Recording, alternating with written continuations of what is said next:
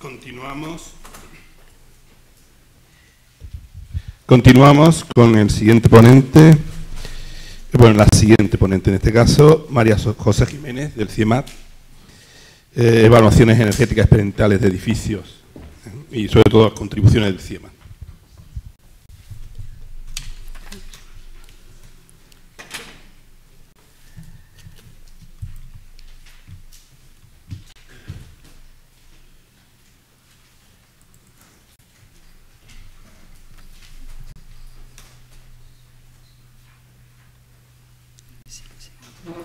Bueno, pues en primer lugar yo quiero agradecer al Instituto Eduardo Torroja y a Ignacio Teiza la oportunidad de estar aquí hoy y de bueno, invitarme a esta jornada. Eh, yo voy a hablar sobre la actividad del CIEMAT en cuanto a evaluación energética experimental de edificios y bueno, experiencias sobre todo y problemática en cuanto a detección y resolución de problemas relacionados con la experimentación en condiciones de clima cálido y soleado y eh, actividad internacional en la que estamos muy activos en el año 58 del programa EDC de la Agencia Internacional de la Energía. El CIEMAT pues, es un centro público de investigación y que se dedica pues, eso, a, temas de energía y medio ambiente. Nuestra unidad, la unidad de eficiencia energética de la edificación, tiene dos grupos. Uno grupo se dedica a temas de eh, Smart Cities y otro grupo del que yo soy responsable se dedica a temas de evaluación energética experimental de edificios. Eh, a mí, bueno, nosotros tenemos experiencia tanto en componentes constructivos, evaluación experimental de componentes constructivos, como eh, sistemas constructivos como edificios. El CIEMAT empezó en el año 85 a trabajar en esta temática y ha tenido eh, en cuanto a este tema, ha tenido dos líneas de evolución. Por una parte, desde el principio ha trabajado en evaluación de edificios y, por otra parte, en evaluación de componentes. En cuanto a la parte de evaluación de componentes, ha evolucionado de tal forma que la metodología que hemos desarrollado en contexto de proyectos internacionales también ha acabado confluyendo en metodología que también se aplica a evaluación de edificios, con lo cual hoy en día es una línea bastante eh, unificada. Entonces, bueno, a mí me resulta mucho más natural empezar a hablar de componentes y terminar hablando de edificios, que es la actividad en la que, bueno, hoy en día estamos muy activos en las dos, pero eh, la actividad internacional que estamos teniendo últimamente es sobre eh, evaluación energética de edificios. Eh, cuando hablamos de, monitorización, lo primero que tenemos que tener en cuenta es los objetivos y en función de los objetivos, pues planteamos una monitorización. Podemos plantear estudios de confort, estudios de caracterización de las envolventes, estudios de, eh, orientados a validar o mejorar modelos de simulación, hacer estudios detallados de sistemas pasivos o incluso hacer obtener modelos que nos sirvan para hacer control predictivo. Entonces, por una parte, tenemos que tener los objetivos en cuenta y por otra parte pues tenemos que tener en cuenta eh, que tenemos que tener know-how en cuanto a medida en el entorno construido y en cuanto a modelado. Porque eh, una, vez que, una vez que tenemos las medidas experimentales, los resultados, hay un proceso intermedio de de modelado que es el que utilizamos para obtener los resultados finales. Otra cosa que creo que tenemos que tener en cuenta es el ámbito en que estamos trabajando. El CIEMAT, como centro de investigación que es, eh, se dedica mucho al tema investigación. La monitorización que planteamos en un ámbito de investigación nunca va a ser la misma que plantearíamos eh, de cara a un servicio o de cara a hacer un estudio orientado a cumplir con una normativa.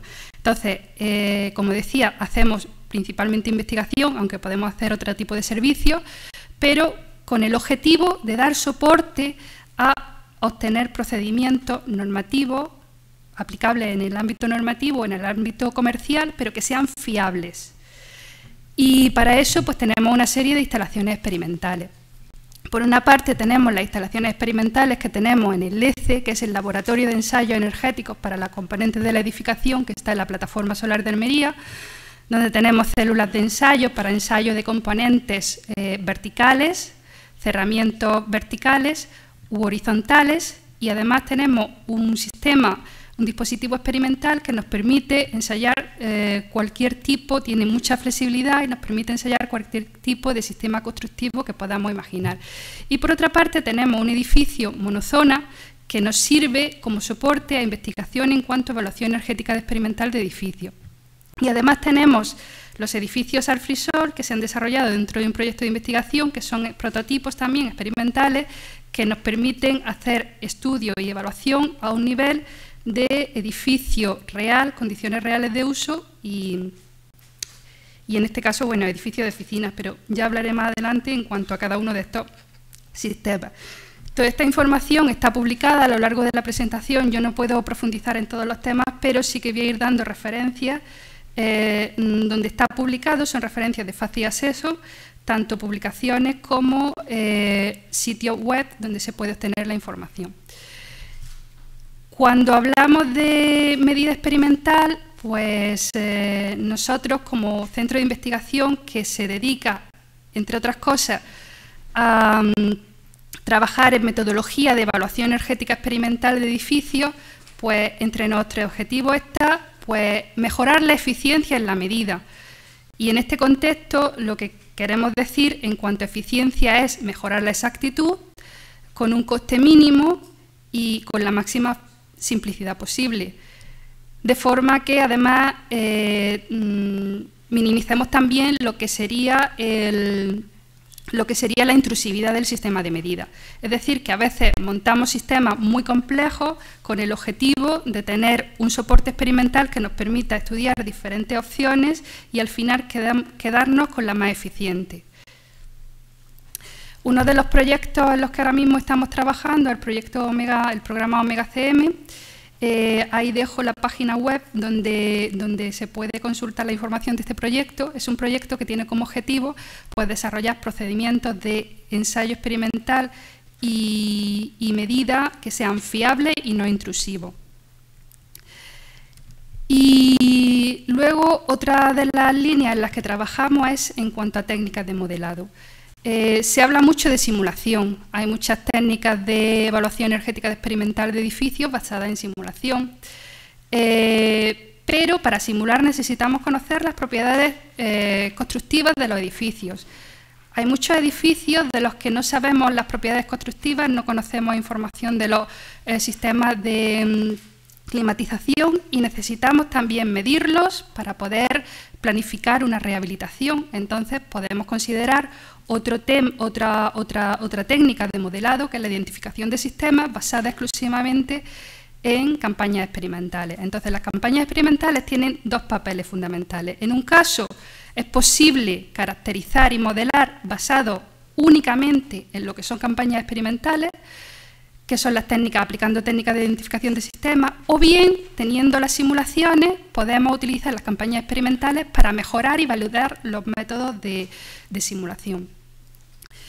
Todo esto, pues eh, nosotros eh, la actividad la estamos desarrollando en foros internacionales donde eh, discutimos con diferentes expertos de, países de, otros países. Entonces, por ejemplo, la red Dynasty, de la que ya se ha hablado anteriormente, pues bueno, tuvo su origen, ahora después em, presentaré un poco la, la, historia, pero tiene su origen en participación conjunta del CIEMAC con otros centros de investigación europeos en los proyectos PASIS y bueno, desde el año 86 que se empezó a ir de forma, en forma de observadores hasta el 90 que se integró el CIEMA de, de, pleno derecho, hasta hoy en día que se ha transformado en lo que es la red Dynasty, seguimos participando.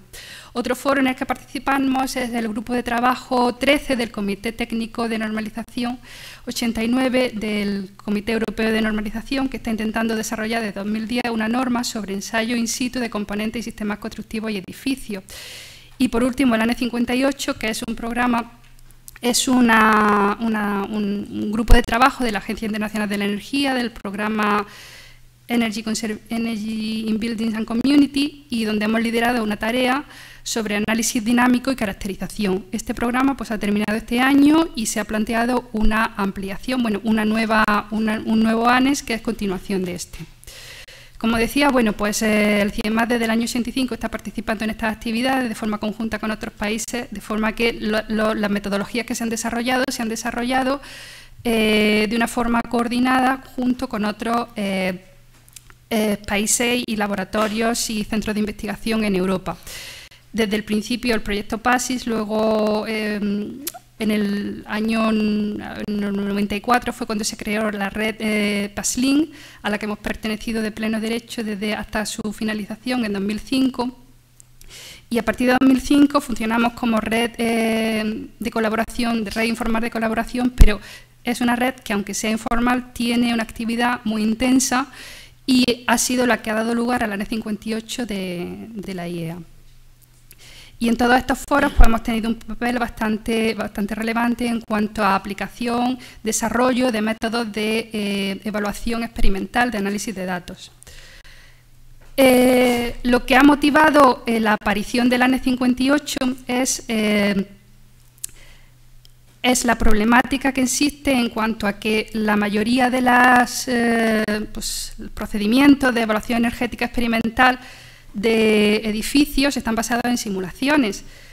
Y se ha observado que existe un interés creciente desde pues, los últimos años ha existido un interés creciente en cuanto a las simulaciones, pero recientemente se ha detectado que aunque inicialmente eh, hubo un momento en que el interés por las medidas experimentales subía y luego bajó, últimamente se ha detectado que este interés crece.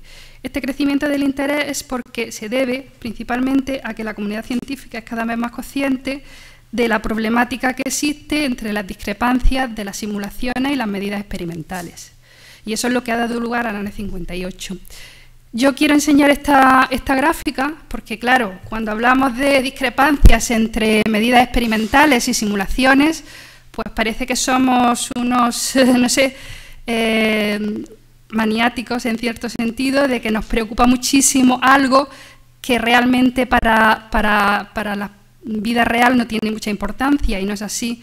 Eh, aquí esta gráfica es de un trabajo que está hecho en Reino Unido, donde se consideran diferentes edificios y se, y se presenta por una parte el coeficiente de, mm, global de pérdida, teórico y el experimental. Entonces, en algunos casos se observan unas discrepancias muy, muy importantes entre ambos. En otros casos, las discrepancias son más pequeñas. Entonces, no estamos hablando de discrepancias despreciables, estamos hablando de discrepancias relevantes.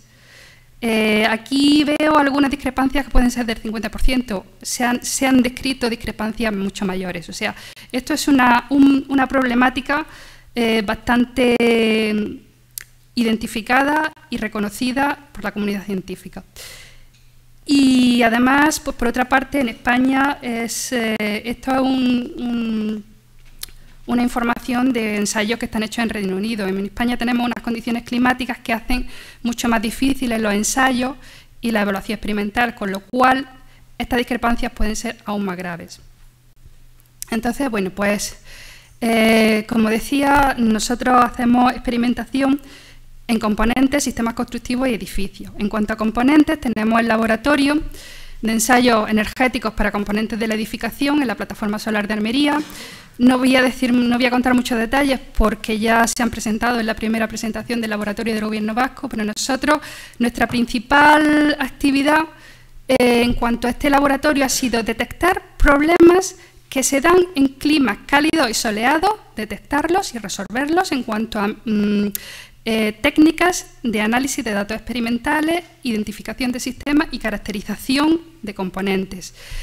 En Almería también tenemos este laboratorio tiene una gran flexibilidad. A, partir a pesar de la, además de las células PASLIN, tenemos pues, una capacidad de, montar y de, diseñar y de instalar eh, dispositivos experimentales para evaluación de otro tipo de, sistemas, por ejemplo, pasivos. El caso de la chimenea solar, pues es un dispositivo que en un momento dado se consideró de interés, se construyó y se ha estado eh, midiendo, modelando, monitorizando, etcétera, y se han hecho diferentes trabajos pues, de análisis de este sistema. Tenemos un recinto de ensayo que es de construcción relativamente reciente para ensayo de techos, y bueno, este recinto de ensayo se ha construido precisamente porque las células PASLIN pues nos han dado ciertos problemas en cuanto al ensayo de techo, en cuanto a soporte estructural y problemas más bien prácticos. Luego tenemos el edificio monozona, que como decía antes, nos permite hacer em, desarrollar metodologías de evaluación experimental y una instrumentación muy completa, muy completa y muy detallada. Eh, aquí tengo un esquema de la célula PASLIN, que sería pues, una envolvente muy aislada y un sistema, un sistema, el sistema que queremos ensayar es un sistema que permite que se puede quitar y sustituir lo que sería la pared original por el componente que queremos ensayar. Y un sistema alrededor de lo que serían las paredes de las células que permite detectar y cancelar cualquier flujo de energía que se produce a través de lo que serían esas paredes, con lo cual durante el ensayo cualquier flujo de energía solo se puede producir a través del componente que se está ensayando, lo cual permite caracterizarlo a partir de las medidas que se, hacen. Esto es muy útil para componentes con cierta complejidad que no sean homogéneos, porque si estamos hablando de cosas muy sencillas, pues eh, quizá no tendría, quizá no tendría sentido toda esta, toda esta eh, montaje experimental. Pero, sin embargo, en el caso de que se trate de componentes más sencillos, pues también se podrían hacer con otro tipo de, procedimiento y con el mismo montaje experimental. Aquí tengo algunos ejemplos que no voy a, que no voy a simplemente mostrar los diferentes el amplio rango de posibilidad experimental, de capacidad experimental que tenemos. Aquí tenemos, por ejemplo, un muro trombe, aquí tenemos pues, una célula, una pared eh, con vegetación, módulo fotovoltaico ventilado, etc. Hemos tenido también eh, un techo de, agua, otro módulo fotovoltaico, un captador solar, y bueno, en cuanto a las diferentes metodologías para caracterización, lo único que quiero decir es que, bueno, que hemos trabajado mucho, hemos intentado detectar problemas y resolverlos, por ejemplo, pues en el método de las medias, que es uno que se aplica mucho, pues eh, se aplica mucho, incluso se aplica y se está considerando de cara normativa en el Reino Unido, utilizando medias diarias, pues nosotros pues, hemos detectado que eso no se puede aplicar aquí en, España. Entonces, bueno, pues aquí tenemos la problemática que, se nos da, que si, si tenemos diferentes series de datos en invierno y en verano, pues si el muro es el mismo, los resultados deberían de ser los mismos. Si aplicamos la metodología general, resulta que no lo son. Ahí tenemos un problema que tenemos que resolver.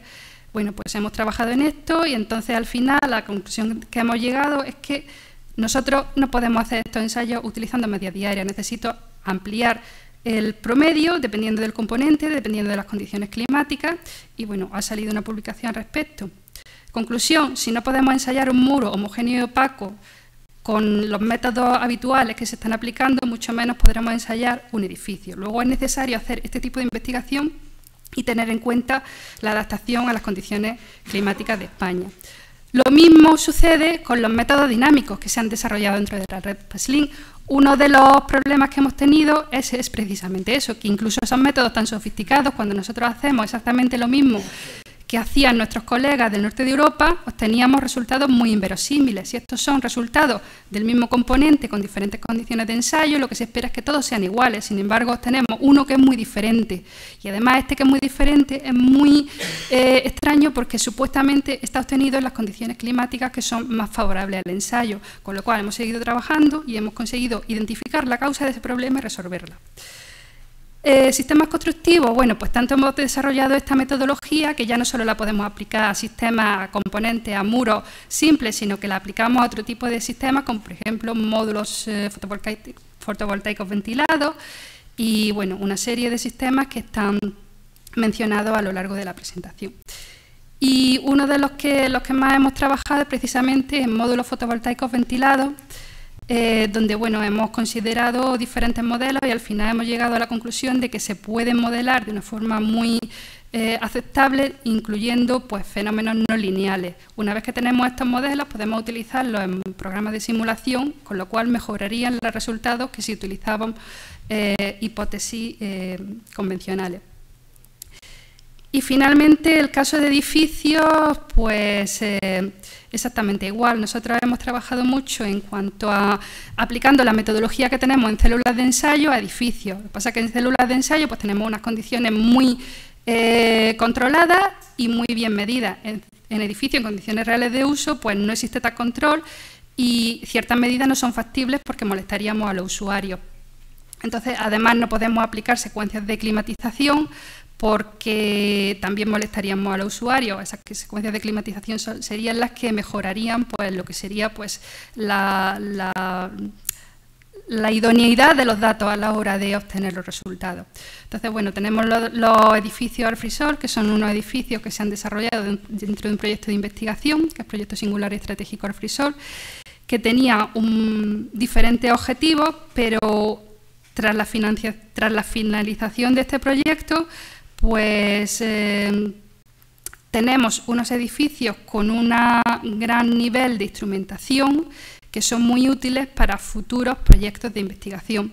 Entonces, uno de los que tenemos monitorizado es el edificio de oficina de la plataforma solar de Almería, bueno, que integra una serie de sistemas eh, de climatización, en primer lugar pasivos, después solares activos, eh, de forma que eh, ahorre energía. Y, por, y, este edificio pues, tiene implementado un sistema de monitorización muy detallado. Aquí esto es lo que yo quería decir cuando decimos que una cosa es el objetivo de la investigación y otra cosa es el objetivo de un ensayo comercial o normativo. En este caso tenemos una monitorización muy, muy detallada pero es un prototipo, es un instrumento de nuestra investigación. Si nosotros vamos a hacer un ensayo eh, a nivel comercial o a nivel normativo, no utilizamos este nivel de detalle, pero sí que utilizamos toda esta instrumentación para hacer la investigación en cuanto a qué métodos de medida o de modelado son los más adecuados y nos pueden llevar a justificar los más simples y los más exactos y los menos intrusivos. Eh, bueno, eh, solo aquí solo quería hacer un poco de eh, dar algo de información en cuanto a los diferentes elementos de la cadena de medida. No se trata de medir muy bien cierta variable, sino de que todos los elementos de la cadena de medida sean muy sean adecuados. Entonces, por ejemplo, tenemos que tener en cuenta la resolución del sistema de adquisición de datos, el cableado, que tenga cableado o que no. Pues unas veces el no tener cableado puede ser una ventaja, pero es que a veces el tener sistemas inalámbricos no me ahorra el cableado, porque tenemos que tener cableado desde el sensor, si queremos hacer una buena medida tenemos que elegir bien el punto de medida hasta el sistema convertidor. Sistema de convertidor, pues si tenemos un sensor muy exacto y el convertidor es muy malo, pues tampoco nos sirve de mucho.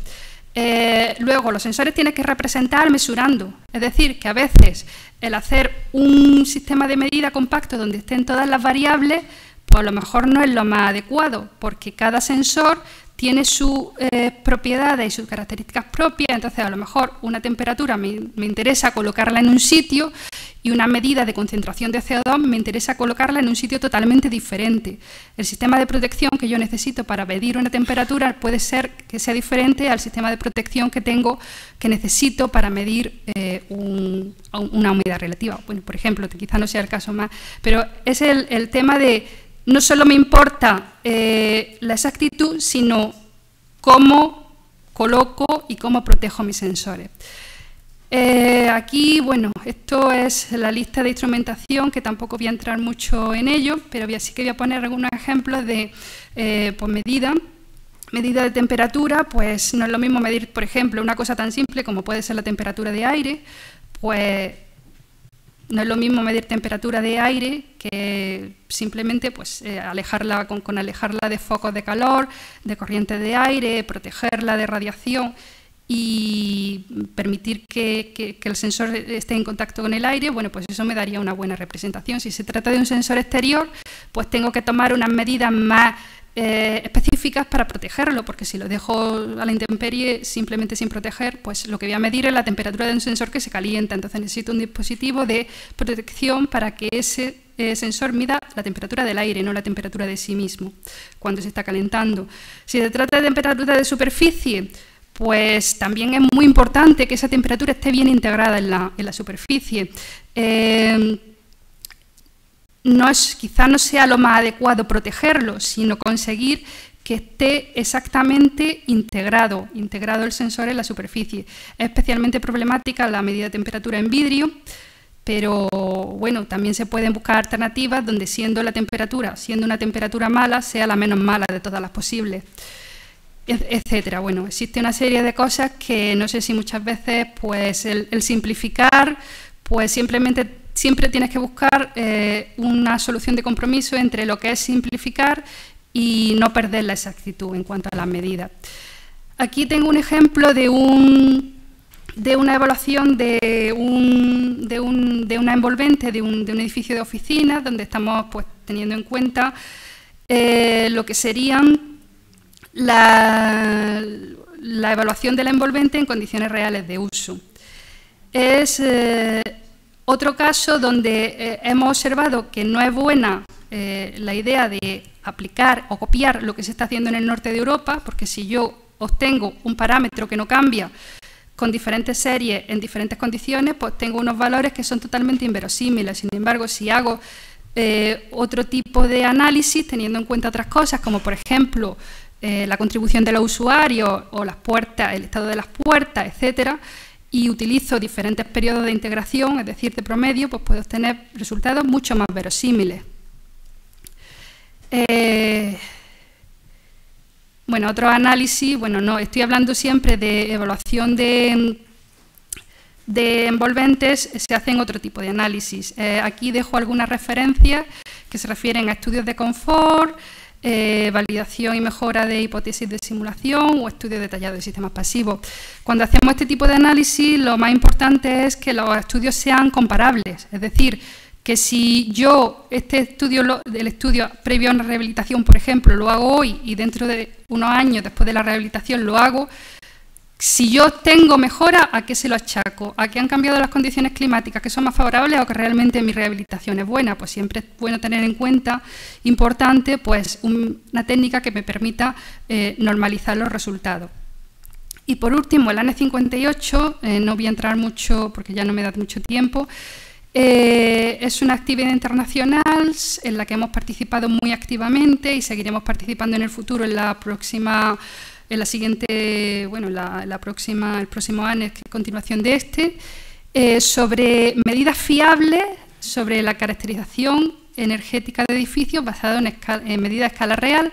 Ha terminado este año, ya están disponibles los informes finales Tenía cinco subtareas, nos hemos involucrado en todas y hemos liderado la subtarea 3 precisamente sobre análisis dinámico y caracterización.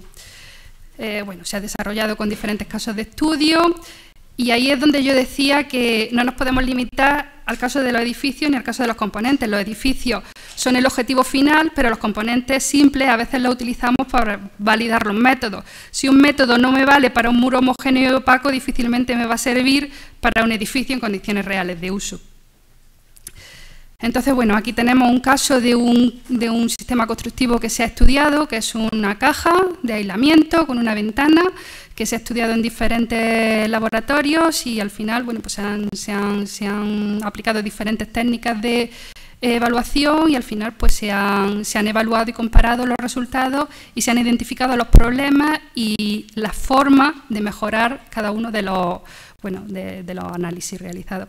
Y aquí tengo la lista de, resultados, resultados que son informes finales que van a estar próximamente públicos en la, en la página web de la red Dynasty y bueno, por si alguien está interesado en la temática, bueno, pues ahí esto va a estar muy pronto en la, en la, en la página web. Por último, eh, como he dicho antes, bueno, estamos participando en una red eh, informal donde se hacen muchas actividades y se, hacen pues, reuniones de expertos donde se discuten a nivel muy de detalle las diferentes eh, problemáticas de, este área de, investigación. Eh, también tienen una página web muy completa y bueno, nosotros, entre otras cosas, participamos en la organización de un curso de verano, que ya estamos organizando la próxima, la próxima edición, que se organiza la semana que viene en Granada, sobre evaluación experimental de edificios. Y bueno, por si a alguien le interesa, en próxima se seguirá eh, trabajando en próximas ediciones.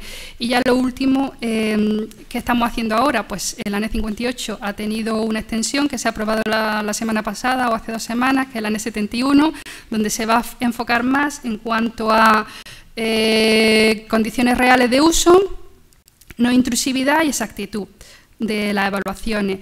Y ahora mismo, bueno, pues lo que había dicho antes, el CIEMAT está participando en el programa Omega CM, que lo lidera el CIEMAT, eh, yo soy el investigador principal, y bueno, está financiado por la Comunidad de Madrid y se puede encontrar información en esta página web. Y bueno, aquí pongo otros enlaces de interés donde se puede encontrar también más información. Eh, siento mucho la precipitación con que lo he contado todo, pero bueno, muchas gracias por la atención.